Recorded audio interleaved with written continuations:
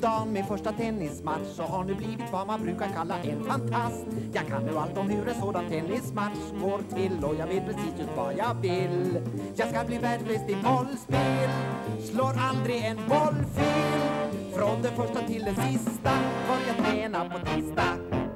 Jag spelar tennis en timme på tisdag och på torsdag på tisdag och på torsdag i tre om jag vill. Jag slängde upp och drämde till och serva om igen. Men ingen boll kom någonsin tillbaks till mig igen. Och det jag glömde kan du säkert ganska lätt förstå att man ju måste vara två. Men vi är två om vårt bollspel och slår väl kanske någon boll fel. Och ingen av oss är världsbäst, vi spelar tennis på lekmest. Vi spelar tennis en timme på tisdag och på torsdag en timme till.